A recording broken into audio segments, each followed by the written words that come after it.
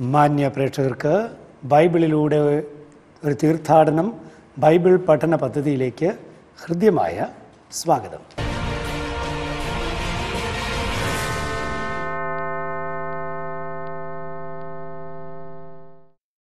പ്രിയ സുഹൃത്തുക്കളെ സങ്കീർത്തന പഠനത്തിന്റെ നൂറ്റി എൺപതാം എപ്പിസോഡിൽ നാം എത്തിയിരിക്കുകയാണ്. എൺപത്തി അഞ്ചാം സങ്കീർത്തനമാണ് കഴിഞ്ഞ എപ്പിസോഡിൽ നമ്മൾ പഠിച്ചത്.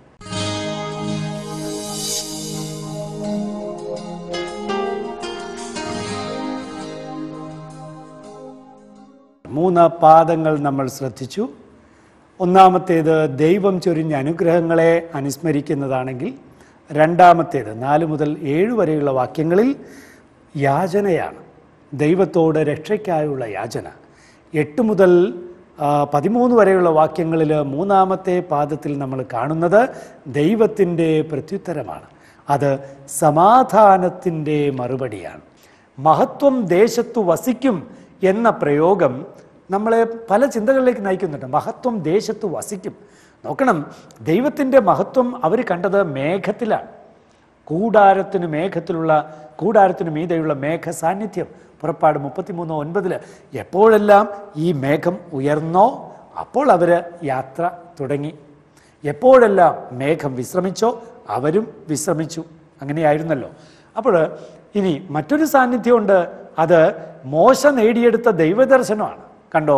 അപ്പോൾ മഹത്വം ദേശത്ത് വസിക്കും. മോശ ദൈവത്തെ കണ്ടു കണ്ട് എന്ത് സംഭവിച്ചു? മോശയുടെ മുഖം തിളങ്ങി എന്നാണ്.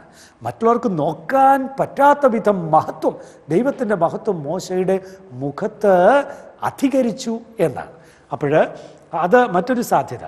ഇനി വേറൊന്നോ? ദേവാലയത്തിലെ ദൈവസാന്നിധ്യം. അപ്പോൾ മഹത്വം ദേശത്ത് വസിക്കും എന്ന് പറയുന്നതിന് ഇത്തരത്തിൽ വ്യത്യസ്തങ്ങളായ ചിത്രങ്ങൾ നമ്മുടെ മനസ്സിലേക്ക് കൊണ്ടുവരാൻ പര്യാപ്തമാണ് ഈ ഒരു ഭാഗം എന്നുള്ളത് ഓർക്കുക. ദൈവത്തിന്റെ സാന്നിധ്യം രക്ഷാസാന്നിധ്യമാണ്. അത് രക്ഷാസാന്നിധ്യം എന്ന് പറയുമ്പോൾ അതെ മഹത്വം നമ്മുടെ ദേശത്തു കുടികൊള്ളാൻ തക്ക വിധം അവിടുത്തെ ഭയപ്പെടുന്നവർക്ക് അവിടുത്തെ രക്ഷ സമീപസ്ഥമാണ്. ഹീബ്രു മൂലത്തോട് ചേർത്തുള്ള ഒരു പരിഭാഷയാണ് ഞാനിവിടെ നൽകിയിരിക്കുന്നത്. അതെ മഹത്വം നമ്മുടെ ദേശത്തു കുടികൊള്ളാൻ തക്കവിധം അവിടുത്തെ ഭയപ്പെടുന്നവർക്ക് അവിടുത്തെ രക്ഷ സമീപസ്ഥമാണ്. പ്രിയപ്പെട്ട ഒരു നാലാം വാക്യത്തിൽ നമ്മൾ പറഞ്ഞത് ഓർക്കുന്നില്ലേ? ഞങ്ങളുടെ രക്ഷയുടെ ദൈവമേ. കണ്ടോ നാലാം വാക്യത്തിൽ നമ്മൾ പറഞ്ഞു ഇനി ഏഴാം വാക്യത്തിൽ അങ്ങയുടെ രക്ഷ ഞങ്ങൾക്ക് പ്രദാനം ചെയ്യണമേ. പ്രാർത്ഥിച്ചു. ഇനി ദാ ഇവിടെ കാണുന്നു രക്ഷ സമീപസ്ഥമാണ്. ഇവിടെ നമ്മൾ പരാമർശിച്ച രക്ഷ ദൈവത്തെ ഭയപ്പെടുന്നവർക്ക് അവിടുത്തെ സാന്നിധ്യത്തിലൂടെ സംജാതമാകുന്നു എന്ന് ഒൻപതാം വാക്യം വ്യക്തമാക്കുകയാണ്. ഇനി തുടർന്നുള്ള ഭാഗം പ്രിയപ്പെട്ടവരെ കൃപയും സത്യവും നീതിയും സമാധാനവും കളിയാടുന്ന വരികളാണ്. വളരെ സുന്ദരമായ വരികൾ. കാരുണ്യവും വിശ്വസ്തതയും തമ്മിൽ ആശ്ലേഷിക്കും. നീതിയും സമാധാനവും പരസ്പരം ചുംബിക്കും. ഭൂമിയിൽ വിശ്വസ്തത മുളയെടുക്കും. നീതി ആകാശത്തു നിന്ന് ഭൂമിയെ കടാക്ഷിക്കും. നീതി ആകാശത്തു നിന്ന് ഭൂമിയെ കടാക്ഷിക്കും. വളരെ ഹൃദ്യമായ വരികളാണ് ഈ പത്ത് പതിനൊന്ന് വരികൾ. ഈ പത്ത് പതിനൊന്ന് വാക്യങ്ങളിൽ ദൈവശാസ്ത്രപരമായി പ്രാധാന്യമുള്ള നാല് പദങ്ങൾ ഏതൊക്കെയാണ്? കൃപ ഹസദ് സത്യം യമത്ത് നീതി ചതക സമാധാനം ഷലോം. ഈ നാല് പദങ്ങൾ കാണും. പത്താം വാക്യത്തിൽ ഈ നാല് പദങ്ങൾക്ക് അവയെ ജോഡിയായി വച്ചിട്ട് അവയ്ക്ക് വ്യക്തിമുഖം നൽകിക്കൊണ്ട് വളരെ സുന്ദരമായ പ്രയോഗങ്ങളാണ് നടത്തിയിരിക്കുന്നത്. എന്താണത്? കാരുണ്യവും വിശ്വസ്തതയും തമ്മിൽ ആശ്ലേഷിക്കും. കാരുണ്യവും വിശ്വസ്തതയും ആലിംഗനം ചെയ്യുന്ന കാഴ്ച ഒന്ന് നിങ്ങളുടെ മനസ്സിലൊന്ന് കണ്ടു നോക്കൂ. കാരുണ്യവും വിശ്വസ്തതയും തമ്മിൽ ആശ്ലേഷിക്കും. ഇനിയോ നീതിയും സമാധാനവും പരസ്പരം ചുംബിക്കും. നീതിയും സമാധാനവും പരസ്പരം ചുംബിക്കും. ആശ്ലേഷിക്കുക. ക്രിയാപദം ഏതാണ്? പകഷ്. ചുംബിക്കുക. ക്രിയാപദം ഏതാണ്? നഷക്. അപ്പോൾ വ്യക്തിമുഖം നൽകിക്കൊണ്ട് ഇവയ്ക്ക് വളരെ സുന്ദരമായ ആശ്ലേഷണത്തിന്റെ ചുംബനത്തിന്റെ ആ ഒരു ഭാവന അതിസുന്ദരമായി കവി നൽകിയിരിക്കുകയാണ്. ഇനി ജോഡിയായി പ്രത്യക്ഷപ്പെടുന്ന കാര്യം ഒന്ന് പ്രത്യേകം ശ്രദ്ധിക്കുക. കൃപയും സത്യവും ഹെസദും യമത്തും ജോഡിയായി പലപ്പോഴും ബൈബിളിൽ കാണാം. ദൈവത്തിന്റെ മുഖ്യ ഗുണങ്ങളാണ് ഇവ. ജോഡിയായി കാണാവുന്നത് നോക്കുക സങ്കീർത്തനം ഇരുപത്തഞ്ച് പത്തിൽ. നാൽപ്പത് പത്ത് പതിനൊന്നിൽ അൻപത്തേഴ് മൂന്നിൽ അറുപത്തൊന്ന് ഏഴിൽ അങ്ങനെ ഇഷ്ടം ഇഷ്ടംപോലെ സ്ഥലത്ത് ഈ ഹെസദും യമത്തും ഒന്നിച്ച് പരാമർശിച്ചിട്ടുണ്ട്. എന്താണ് ഹെസദും യമത്തും അത് പുറപ്പാട് മുപ്പത്തിനാലാം അധ്യായത്തിൽ ആറ് ഏഴ് വാക്യങ്ങളിൽ നമുക്ക് കാണാവുന്നതാണ്. അവിടെ ദൈവത്തിന്റെ സവിശേഷമായ ഗുണഗണങ്ങൾ വിവരിക്കുന്നിടത്ത് ഈ ഹെസദും യമത്തും ഒന്നിച്ച് പറഞ്ഞിരിക്കുന്നു. അപ്പോൾ ദൈവത്തിന്റെ മുഖ്യ സ്വഭാവ സവിശേഷതകളിൽ രണ്ടെണ്ണമാണ് ഈ കൃപയും സത്യവും. കൃപയും സത്യവും പുതിയ നിയമത്തിലും ജോഡിയായി പ്രത്യക്ഷപ്പെടുന്നുണ്ട്. യോഹനാന്റെ സുവിശേഷം ഒന്നാം അധ്യായം പതിനേഴാം വാക്യത്തിൽ കൃപയും സത്യവുമാകട്ടെ കർത്താവായ യേശു ക്രിസ്തുവിലൂടെ എന്ന് പറയുന്ന ഭാഗം. അവിടെ ഗ്രീക്കിൽ കൊടുത്തിരിക്കുന്നത് ഹാരിസ് എന്ന പദമാണ് കൃപയ്ക്ക് ഖാരിസ്. അതുപോലെ സത്യത്തിന് കൊടുത്തിരിക്കുന്നത് അലഥയ്യ എന്ന ഗ്രീക്ക് പദമാണ്. എന്താണ് നീതി? അടുത്തതിലേക്ക് നമുക്ക് വരാം. മൂന്നാമത്തെ പദം. നീതി ചതക്ക എന്താണ് ചതക്ക ചതക്ക എന്നാൽ ദൈവം ആഗ്രഹിക്കുന്നതും നടപ്പാക്കുന്നതുമായ ദൈവത്തിന്റെ നയമാണ് നീതി ചതക്ക ദൈവത്തിന്റെ നയമാണ് പോളിസി ഓഫ് ഗോഡ് നീതി ദൈവത്തിന്റെ പോളിസിയാണ്. ഈ നീതിയുടെ ഫലമാണ് സമാധാനം. ദൈവത്തിന്റെ പോളിസി എവിടെ നടപ്പാകുന്നുവോ അവിടെ ഉളവാകുന്ന ഫലമാണ് സമാധാനം. കണ്ടോ? അപ്പോൾ ചെതക്ക ഉള്ളിടത്താണ് ഷലോം ഉണ്ടാകുന്നത്. അതുകൊണ്ട് പ്രിയപ്പെട്ടവർ ഓർക്കണം പ്രത്യേകിച്ച് ജനുവരി ഒന്നാം തീയതി ലോക സമാധാന ദിനമായി സഭ ആചരിക്കുമ്പോൾ പല മാർപ്പാപ്പമാരും പലപ്പോഴും അടിവരയിട്ട് പറഞ്ഞിട്ടുള്ള ഒരു കാര്യമാണ് സമാധാനം നീതിയുടെ ഫലമാണെന്ന്. കണ്ടോ? അത് വെറുതെ പറയുന്നതല്ല വളരെ വ്യക്തമായ ബിബ്ലിക്കൽ അടിസ്ഥാനം അതിന് ഉണ്ട് എന്നുള്ളതാണ്. ദൈവത്തോടും മനുഷ്യനോടുമുള്ള ബന്ധമാണ് നീതിയുടെ അടിസ്ഥാന സ്വഭാവം. നീതി എന്ന ദൈവിക നയത്തിന്റെ ഫലമാണ് സമാധാനം. ഷലോം. അത് നമുക്ക് സങ്കീർത്തനം ഇരുപത്തൊൻപത് പതിനൊന്നിൽ കാണാം മുപ്പത്തഞ്ച് ഇരുപത്തേഴിൽ ഏഷ്യ അറുപത് പതിനേഴിലൊക്കെ ഈ നീതിയും സമാധാനവും തമ്മിലുള്ള ബന്ധം നമുക്ക് കാണാം. പതിനൊന്നാം വാക്യത്തിൽ വളരെ ശ്രദ്ധേയമായ കാര്യം ഇപ്പറഞ്ഞ ഓരോ ഭാഗത്തിൽ നിന്നും ഓരോന്നെടുത്തിരിക്കുകയാണ് കണ്ടോ? സത്യം മുളയെടുക്കും നീതി കീഴ്പോട്ട് നോക്കും. ഇതാണ് അവിടെ പറഞ്ഞിരിക്കുന്നത്. ഭൂമിയിൽ വിശ്വസ്തത മുളയെടുക്കും. നീതി ആകാശത്തു നിന്ന് ഭൂമിയെ കടാക്ഷിക്കും. അക്ഷരാർത്ഥത്തിലുള്ള പരിഭാഷയാണ് ഇവിടെ നമ്മൾ കൊടുത്തിരിക്കുന്നത്. ഭൂമിയിൽ നിന്നു സത്യം മുളയെടുക്കും. സമഹ് മുളയെടുക്കലാണ്. ഭൂമിയിൽ നിന്ന് സത്യം മുളയെടുക്കും. ആകാശത്തു നിന്ന് നീതി കീഴ്പോട്ടു നോക്കും. ഷഖഫ് ആകാശത്തു നിന്ന് നീതി കീഴ്പോട്ടു നോക്കും. അപ്പോൾ ആദ്യത്തെ ഹെസദും യമത്തും എന്ന് പറഞ്ഞതിൽ കണ്ടോ ആ യമത്ത് എടുത്തു രണ്ടാമത്തെ ജോഡിയിൽ ആ ചെതക്ക എടുത്തു നീതി എടുത്തു. എന്നിട്ട് എന്താ പറഞ്ഞിരിക്കുന്നത്? യമത്ത് ഭൂമിയിൽ നിന്ന് മുളച്ചു പൊന്തുന്നു ഇനി മുളയെടുക്കുന്നു ഇനി ചെതക്കായോ ആകാശത്തു നിന്ന് കീഴ്പോട്ട് നോക്കും. കാവ്യാത്മക ഭംഗി നിറഞ്ഞു നിൽക്കുന്ന തുളുമ്പി നിൽക്കുന്ന ഈ വരി ദൈവിക പ്രവർത്തനത്തിന്റെ അചിന്തനീയമായ സൗന്ദര്യം വ്യക്തമാക്കുന്നതാണ്. ദൈവത്തിന്റെ സ്വഭാവവും നയവും പ്രവർത്തനവും പ്രപഞ്ചത്തിൽ ആകാശം മുതൽ ഭൂമി വരെ നിറയും എന്നാണ് ധ്വനി. പ്രപഞ്ചത്തിൽ ആകാശം മുതൽ ഭൂമി വരെ ദൈവത്തിന്റെ സ്വഭാവവും നയവും പ്രവർത്തനവും നിറയും എന്ന്. നമുക്ക് മുപ്പത്തിയാറാം സങ്കീർത്തനത്തിലേക്ക് ഒന്ന് കടന്നു ചെല്ലാം. മുപ്പത്തിയാറാം സങ്കീർത്തനത്തിൽ ഈ ഒരു പ്രത്യേകത പ്രത്യേകിച്ച് അഞ്ച് ആറ് വാക്യങ്ങളിൽ കാണാവുന്നതാണ്. കർത്താവേ അങ്ങയുടെ കാരുണ്യമാകാശത്തോളം എത്തുന്നു വിശ്വസ്തത മേഘങ്ങൾ വരെയും. അങ്ങയുടെ നീതി ഗിരിശൃംഗങ്ങൾ പോലെയും അങ്ങയുടെ വിധികൾ അത്യഗാധങ്ങൾ പോലെയുമാണ്. കർത്താവെ മനുഷ്യനെയും മൃഗത്തെയും അവിടുന്ന് രക്ഷിക്കുന്നു. കണ്ടോ? അവിടെയും കൃപയും സത്യവും നീതിയും വരുന്നുണ്ട്. ഇവ തമ്മിലുള്ള ബന്ധമോ? ആകാശം മേഘം ഭൂമി അത്യഗാധങ്ങൾ എല്ലാത്തിനും ഉൾപ്പെടുന്നതാണ്. കണ്ടോ? അപ്പോൾ നോക്കുക. ദൈവത്തിന്റെ സ്വഭാവവും നയവും പ്രവർത്തനവും പ്രപഞ്ചത്തിൽ ആകാശം മുതൽ ഭൂമി വരെ നിറയും എന്നതാണ് ഈ ഭാഗത്തിന്റെ ഭൂമിയിൽ നിന്ന് സത്യം മുളയെടുക്കും ആകാശത്തു നിന്ന് നീതി കീഴ്പോട്ട് നോക്കും എന്ന ഭാഗത്തിന്റെ ധ്വനി. മുളയെടുക്കലും കീഴ്പോട്ട് നോക്കലും. മുളയെടുക്കൽ അത് മുകളിലേക്ക് നോക്കലാ.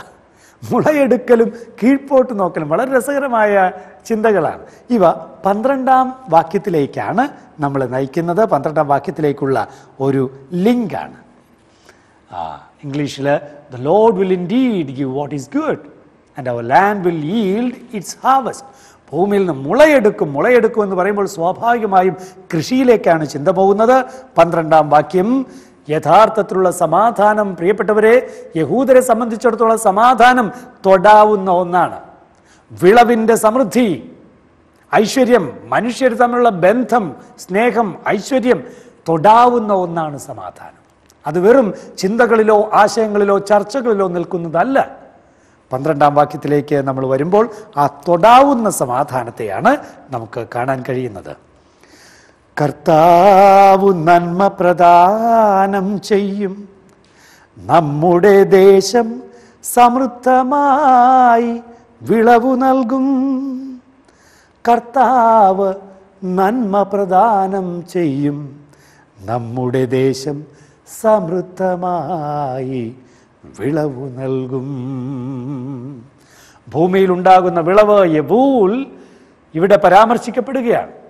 അത് കൃപ സത്യം നീതി സമാധാനം എന്നീ ദൈവിക ഗുണങ്ങളുടെ മൂർത്തമായ ഒരു കാര്യമാണ് ഒരു വശമാണ്. അതുപോലെ പ്രായോഗികമായ പ്രയോജനപ്പെടാവുന്ന രീതിയിലുള്ള വശമാണ്. അപ്പോൾ പ്രിയപ്പെട്ടവരെ നേരത്തെ നമ്മൾ പറഞ്ഞ നയമുണ്ടല്ലോ ദൈവത്തിന്റെ നയം. ദൈവം ആഗ്രഹിക്കുന്ന കാര്യം നടപ്പിലാക്കാൻ ആഗ്രഹിക്കുന്ന കാര്യം അതിന് അതുമായി ബന്ധപ്പെട്ടതാണ് ഈ പറയുന്ന തൊടാവുന്ന രീതിയിലുള്ള ഐശ്വര്യവും സമൃദ്ധിയുമെല്ലാം. കർത്താവ് പ്രധാനം ചെയ്യുന്ന നന്മയ്ക്ക് തോവ്. അതാണല്ലോ അവിടെ പ്രയോഗിച്ചിരിക്കുന്ന പദം ഹീബ്രുവിൽ രക്ഷ ആവശ്യങ്ങൾ എന്നിങ്ങനെ വ്യത്യസ്ത അർത്ഥങ്ങൾ ഉണ്ടാകാം എങ്കിലും കാർഷിക സമൃദ്ധിയോ അതിന് കാരണമാകുന്ന മഴയോ ആയിരിക്കണം ഇവിടെ വ്യംഗ്യം കണ്ടോ? നന്മ. കർത്താവ് നന്മ പ്രദാനം ചെയ്യും. എന്താണ് നന്മ? നന്മയ്ക്ക് പല സാധ്യതകളുണ്ട്. അത് രക്ഷ എന്നർത്ഥം വരാം ആവശ്യങ്ങൾ എന്നർത്ഥം വരാം അതൊക്കെ ഇന്ന ഈ സഹ ഈ പ്രയോഗത്തിലൊക്കെ ദേശം എന്നർത്ഥം വരാം. നന്മയ്ക്ക് പല അർത്ഥങ്ങളുണ്ട് കേട്ടോ. അങ്ങനെ വ്യത്യസ്ത അർത്ഥങ്ങൾ ഉണ്ടെങ്കിലും ഇവിടെ സൂചിപ്പിക്കുന്നത് എന്തിനെയായിരിക്കണം? ഇവിടെ ഒരുപക്ഷെ മഴയെ ആയിരിക്കണം. ഒരുപക്ഷെ മഴയെ ആയിരിക്കണം. കർത്താവ് നന്മ പ്രദാനം ചെയ്യും. നമ്മുടെ ദേശം സമൃദ്ധമായി വിളവ് നൽകും. ഇനി ഈ സങ്കീർത്തനത്തിൽ അവസാനത്തെ വരിയിലേക്ക് ഒന്ന് കടന്നു നമുക്ക്? നീതി അവിടുത്തെ മുൻപിൽ നടന്ന് അവിടുത്തേക്ക് വഴിയൊരുക്കും. നീതി അവിടുത്തെ മുൻപിൽ നടന്ന് അവിടുത്തേക്ക് വഴിയൊരുക്കും. ഞാൻ അതിനെ ഒറിജിനൽ ഭാഷയിൽ നിന്നുള്ള ഒരു പരിഭാഷ ഇവിടെ തരികയാണ്. സങ്കീർത്തനത്തിൽ അവസാന വരിയും നീതിക്ക് വ്യക്തിമുഖം കൽപ്പിക്കുന്നുണ്ട്. അത് നമ്മൾ ഒറിജിനൽ ഭാഷയിൽ നിന്ന് നമുക്ക് നേരിട്ടൊന്ന് കാണാം. തിരുമുൻപിൽ നീതി സഞ്ചരിച്ച് തന്റെ കാലടികളെ യാത്രയ്ക്കു സജ്ജമാക്കും. തിരുമുൻപിൽ നീതി സഞ്ചരിച്ച് തന്റെ കാലടികളെ യാത്രയ്ക്കു സജ്ജമാക്കും. അപ്പോൾ നീതി എന്താ ചെയ്യുന്നത്? ദൈവത്തിന് മുന്നോടിയായി പോകുന്ന ഒരു വിളംബരക്കാരനാണ് നീതി.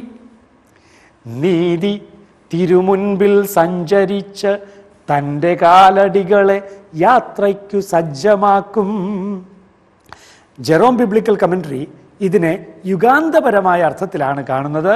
നീതി ദൈവത്തിന്റെ മുൻപേ സഞ്ചരിച്ച് യുഗാന്തത്തിന്റെ ഒരുക്കം നടത്തുന്നു എന്നുള്ള അർത്ഥത്തിൽ. ഈ വരിക്ക് മറ്റ് പരിഭാഷകൾ സാധ്യമാണ്. അതുകൂടി ഞാൻ നിങ്ങൾക്ക് പരിചയപ്പെടുത്തുകയാണ്. തിരുമുൻപിൽ നീതി സഞ്ചരിക്കും. അവിടുന്ന് അതിന്റെ കാലടികളെ യാത്രയ്ക്കു സജ്ജമാക്കും. അപ്പോൾ ക്രിയാപദത്തിന്റെ ആ കർത്താവ് മാറി അവിടുന്ന് എന്നായി നേരത്തെ ക്രിയാപദത്തിന്റെ കർത്താവ് നീതിയായിരുന്നു. ഇതും സാധ്യമാണ്. ഹീബ്രു ടെക്സ്റ്റ് അനുസരിച്ച് ഇത് സാധ്യമാണ്. അതുകൊണ്ടാണ് അതുകൂടി നമ്മൾ കൊടുക്കുന്നത്. എന്താണ് അപ്പോൾ ഇവിടെ അർത്ഥമാകുന്നത്? നീതിയെ യാത്രയ്ക്കൊരുക്കുന്നത് ദൈവമാണ്. തിരുമുൻപിൽ നീതി സഞ്ചരിക്കും അവിടുന്ന് അതിന്റെ കാലടികളെ യാത്രയ്ക്കു സജ്ജമാക്കും. നീതിയുടെ കാലടികളെ ഒരുക്കുന്നത് യാത്ര അയക്കുന്നത് ദൈവമാണ്. ദൈവവും മനുഷ്യനും തമ്മിലുള്ള അതുപോലെ മനുഷ്യനും മനുഷ്യനും തമ്മിലുള്ള ബന്ധത്തിലുള്ള പുരോഗതിയും ദൈവത്തിന്റെ ദാനം തന്നെയാണ്. നീതി എവിടെ വളർച്ച ഉണ്ടാകുന്നുവോ അതിനു പിന്നിൽ ദൈവം പ്രവർത്തിക്കുന്നു. അപ്പോൾ നീതിയെ യാത്രയ്ക്ക് ഒരുക്കുന്ന അതിന്റെ കാലടികളെ യാത്രയ്ക്ക് ഒരുക്കുന്നത് ദൈവമാണ്. ശരി മറ്റൊരു പരിഭാഷ സാധ്യത. ഈ സാധ്യതകൾ നമ്മൾ കാണുന്നത് നല്ലതാണ്. അപ്പോൾ നമുക്ക് അതിന്റെ പല സാധ്യതകളെ നമുക്ക് കണ്ട് നമുക്ക് നമ്മുടേതായ ഒരു നിഗമനത്തിലേക്ക് എത്താൻ കഴിയും. അതുകൊണ്ടാണ്. തിരുമുൻപിൽ നീതി സഞ്ചരിച്ച് അവിടത്തെ കാലടികളെ യാത്രയ്ക്കു സജ്ജമാക്കും. അപ്പോൾ ദൈവത്തിന്റെ കാലടികളെ നീതി സജ്ജമാക്കും എന്ന അർത്ഥത്തിൽ അതിനും സാധ്യതയുണ്ട്. ജനത്തോടുള്ള ദൈവത്തിന്റെ യാത്രയ്ക്ക് നീതി അനിവാര്യമാണെന്നാണ് സൂചന. അപ്പോൾ ദൈവം ജനത്തോടൊപ്പം സഞ്ചരിക്കണമെങ്കിൽ ജനം നീതി പ്രവർത്തിച്ചേ മതിയാകൂ. പ്രത്യേകിച്ച് യേശി അൻപത്തിയെട്ട് എട്ടിൽ നമ്മൾ വായിക്കുന്നുണ്ടല്ലോ. അപ്പോൾ നിന്റെ വെളിച്ചം പ്രഭാതം പോലെ പൊട്ടിവിടരും നീ വേഗം സുഖം പ്രാപിക്കും. അടുത്തത് നിന്റെ നീതി നിന്റെ മുൻപിലും കർത്താവിന്റെ മഹത്വം നിന്റെ പിൻപിലും നിന്നെ സംരക്ഷിക്കും.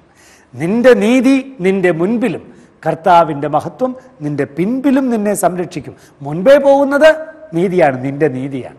അപ്പോൾ വളരെ ശ്രദ്ധേയമാണ്. നീതി മുൻപേ പോയാലേ ദൈവം പിൻപേയുള്ളൂ ദൈവത്തിന്റെ സാന്നിധ്യം കൂടെയുള്ളൂ എന്ന ചിന്ത ഇവിടെ ശക്തമാണ്. നീതി ഇല്ലാത്തിടത്ത് ദൈവ സാന്നിധ്യം പ്രതീക്ഷിക്കാനാവില്ല എന്നാണ് ധ്വനി. ശരി ഇനി മറ്റൊരു സാധ്യത. തിരുമുൻപിൽ നീതി സഞ്ചരിച്ച് അതിന്റെ കാലടികളെ യാത്രയ്ക്കു സജ്ജമാക്കും. അപ്പോൾ തിരുമുൻ ദൈവത്തിന്റെ മുൻപിൽ നീതി സഞ്ചരിച്ച് അതിന്റെ കാലടികളെ യാത്രയ്ക്ക് സജ്ജമാക്കി. ഇവിടെ പരാമർശം വിളവിനെക്കുറിച്ചാണ്. വിളവിനെക്കുറിച്ച്.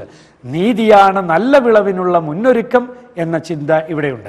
ഇതിൽ ഏത് പരിഭാഷയും സ്വീകരിക്കാം. പക്ഷേ ഒരു കാര്യം വ്യക്തമാണ്. ഏത് പരിഭാഷ സ്വീകരിച്ച ഒരു കാര്യം വ്യക്തം. സങ്കീർത്തനാന്ത്യം നീതിക്ക് ഏറെ ഊന്നൽ നൽകിയിരിക്കുന്നു. അത് നമ്മൾ സമ്മതിക്കണം. നീതിയുടെ സവിശേഷമായ ആ ഒരു ഒരു പ്രാധാന്യം. ആ പ്രാധാന്യം ഈ സങ്കീർത്തനം അടിവരയിടുന്ന ഒന്നാണ്. പ്രിയപ്പെട്ടവരെ ഐശ്വര്യത്തിന്റെ സമൃദ്ധിയുടെ കൃഷിയുടെ പരസ്പര ബന്ധത്തിന്റെ ദൈവ സാന്നിധ്യത്തിന്റെ സൗഹാർദ്ദത്തിന്റെ വിശ്വാസത്തിന്റെ ഭക്തിയുടെ നന്മയുടെ ക്ഷമയുടെ ഒക്കെയായ അതിസുന്ദരമായ ഈ ഒരു കാഴ്ചപ്പാട്. നോക്കണം ഈ ഒരു ആർട്ടിസ്റ്റ് ഇതിവിടെ വരച്ചു വച്ചിരിക്കുമ്പോൾ നമ്മൾ ഇങ്ങനെ അത് കാണുന്നുള്ളൂ. പക്ഷേ എൺപത്തഞ്ചാം സങ്കീർത്തനത്തെ ആർട്ടിസ്റ്റ് വരച്ചു വച്ചിരിക്കുന്നതാണിത്. ഇവിടെ എഴുതിയിരിക്കുന്നത് കാണാൻ നിങ്ങൾക്ക് കഴിയുന്നില്ല എന്നെനിക്കറിയാം. ഇവിടെ എഴുതിയിരിക്കുന്നത് നീതി ആകാശത്ത് നിന്ന് കീഴ്പോട്ട് നോക്കും എന്ന ഇംഗ്ലീഷിൽ ദാ കുറിച്ചു വച്ചിരിക്കുക. ഇനി ഇവിടെയോ truth shall spring out of the earth സത്യം ഭൂമിയിൽ നിന്ന് മുളയെടുക്കും എന്നാണ് ഇവിടെ എഴുതി വച്ചിരിക്കുന്നത്. ദാ ഇവിടെയോ justice and peace shall kiss നീതിയും സമാധാനവും പരസ്പരം ചുംബിക്കും. ഇവിടെയോ ആ നോക്കുക kindness and truth shall meet അപ്പോൾ കാരുണ്യവും സത്യവും പരസ്പരം ആശ്ലേഷിക്കും. കണ്ടോ? എൺപത്തഞ്ചാം സങ്കീർത്തനത്തെ വരച്ചു വെച്ചിരിക്കുകയാണ്. വളരെ സുന്ദരമായിരിക്കുന്നു. വളരെ വളരെ സുന്ദരമായിരിക്കുന്നു. പ്രത്യേകിച്ച് ഈ എല്ലാ കാര്യങ്ങളും ഈ ഒരു ചിത്രത്തിൽ കൊണ്ടുവരാൻ ആർട്ടിസ്റ്റ് ശ്രമിച്ചിട്ടുണ്ട്. ഞാൻ അതുകൊണ്ട് ഈ ഒരു ചിത്രം നിങ്ങളെ കാണിക്കാം എന്ന് വിചാരിച്ചതാണ്. ശരി മുന്നോട്ട് പോകാം നമുക്ക്. സങ്കീർത്തനം എൺപത്തി അഞ്ച് നമ്മൾ പഠിച്ചു. അതിന്റെ ഉൾപ്പൊരുൾ നമുക്ക് മനസ്സിലായി. ആദ്യത്തേത് ദൈവത്തിൽ ലഭിച്ച കൃപ കൃപകൾ അനുസ്മരിച്ചുകൊണ്ട് പറയുന്നതാണ്. അത് നമ്മൾ കണ്ടു. വിപ്രവാസ അനന്തര കാലഘട്ടത്തിൽ പ്രത്യേകിച്ച് എസ്ര നെഹമിയയുടെ കാലഘട്ടത്തിലായിരിക്കണം. ദൈവം ചെയ്ത നന്മകളെ അനുസ്മരിക്കുക തൊട്ടു പിന്നാലെ നമ്മൾ കാണുന്നു യാചനയാണ്. എന്താണ്? നമ്മൾ കണ്ടല്ലോ ദൈവമേ അങ്ങയുടെ രക്ഷ പുനരുദ്ധരിക്കണമേ എന്നാണ്. നമ്മൾ അവിടെ കണ്ട കാര്യം നമ്മൾ പ്രത്യേകം ശ്രദ്ധിക്കണം. അവിടെ യാചനയായിരുന്നു. എന്തായിരുന്നു? പാപം പൊറുക്കുന്ന കാര്യവും അങ്ങനെയുള്ള കാര്യങ്ങളൊക്കെ അവിടെ വന്നു. ദൈവത്തോട് യാചന നടത്തിക്കൊണ്ടിരിക്കുകയാണ്. ഏറ്റവും എന്നിട്ട് രക്ഷിക്കണം എന്നുള്ളതായിരുന്നു പ്രധാനപ്പെട്ട ആവശ്യം. എന്നിട്ട് സങ്കീർത്തകൻ എട്ട് പതിമൂന്നിൽ എന്താ പറഞ്ഞത്? ദൈവത്തിന്റെ രക്ഷ ഏതു വിധത്തിലുള്ളതാണ്. അവിടെ പ്രത്യേകിച്ച് നാല് കാര്യങ്ങൾ ഹൈലൈറ്റ് ചെയ്യപ്പെട്ടു. ആ കാര്യങ്ങളൊക്കെ അവസാനിച്ചത് വിളസമൃദ്ധിയിലേക്കാണ്. പിന്നെ ഏറ്റവും ഒടുവിൽ നീതിക്ക് ഒരിക്കൽ കൂടി അരി അടിവരയിട്ടുകൊണ്ടാണ് എൺപത്തഞ്ചാം സങ്കീർത്തനം അവസാനിച്ചത്. പ്രിയപ്പെട്ടവർ ക്രിസ്തുവും എൺപത്തഞ്ചാം സങ്കീർത്തനവും നമ്മൾ പഠനം സങ്കീർത്തനത്തിന്റെ പഠനം അവസാനിപ്പിച്ചു. ഇനി ഇത് ഒരു ക്രിസ്റ്റളോജിക്കലായിട്ടുള്ള ക്രിസ്തു ശാസ്ത്രപരമായ ഒരു വ്യാഖ്യാനത്തിലേക്ക് നമ്മൾ കിടക്കുകയാണ്.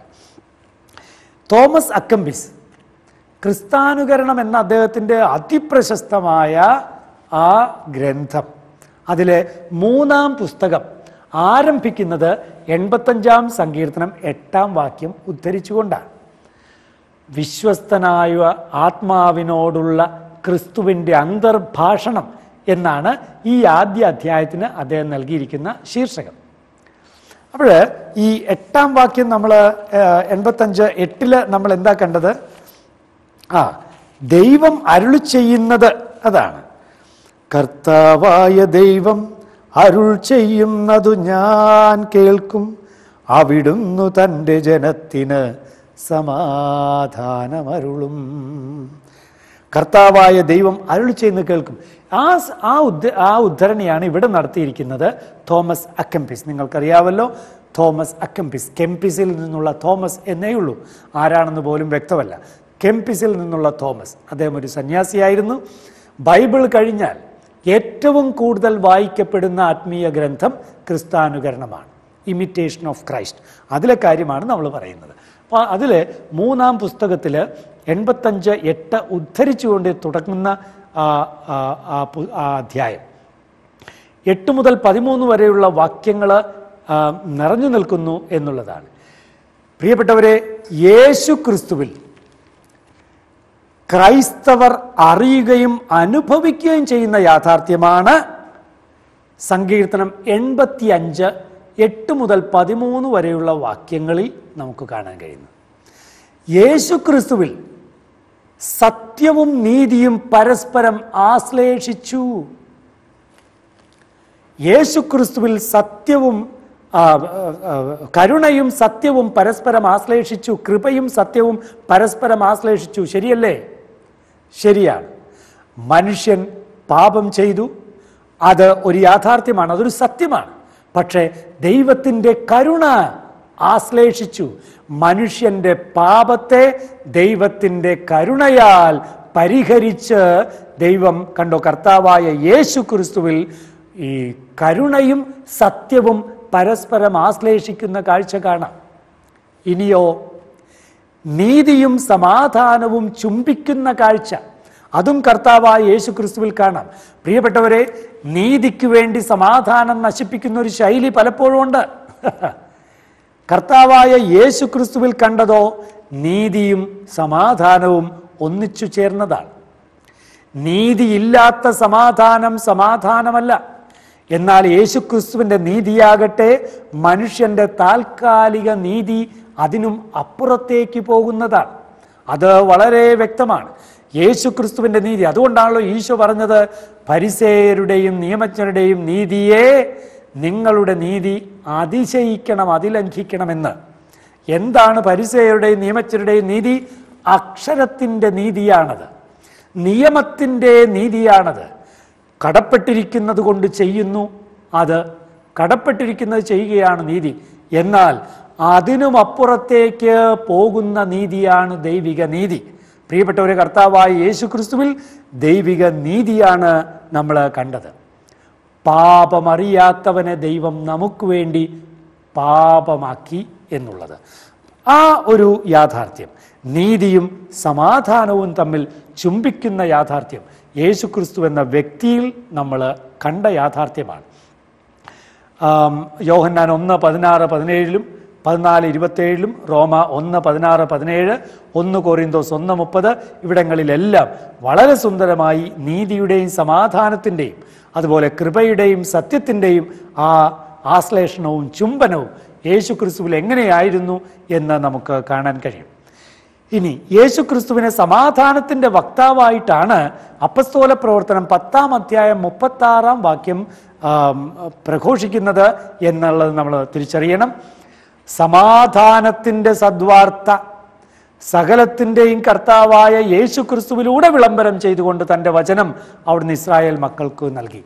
സമാധാനത്തിന്റെ സദ്വാർത്ത യേശു ക്രിസ്തുവിന്റെ സുവിശേഷം സമാധാനത്തിന്റെ സദ്വാർത്തയാണ്. പ്രിയപ്പെട്ടവരെ ഞാനും എൺപത്തഞ്ചാം സങ്കീർത്തനം എന്റെ എനിക്ക് ഈ സങ്കീർത്തനം എങ്ങനെ ഗുണം ചെയ്യും?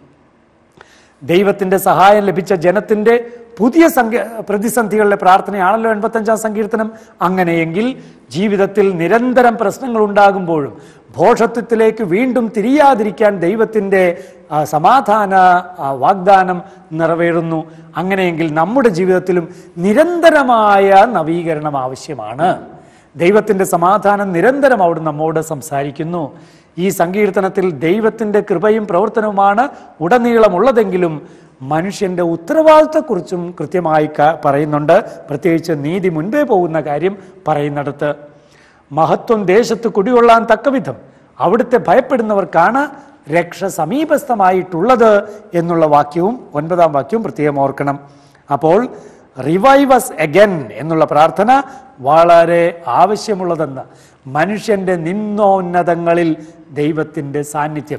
താഴ്ചകളിലും ഉയർച്ചകളിലും. പ്രിയപ്പെട്ടവരെ ദൈവത്തിന്റെ സഹായവും ഇടപെടലും നിരന്തരം നമുക്ക് ആവശ്യമാണ്. യേശുക്രിസ്തുവിൽ സംസ്ഥാപിതമായ കൃപയുടെയും സത്യത്തിന്റെയും നീതിയുടെയും സമാധാനത്തിന്റെയും രാജ്യത്തിൽ വ്യാപരിക്കാൻ നാം നിരന്തരം ജാഗ്രത പുലർത്തേണ്ടതാണ്.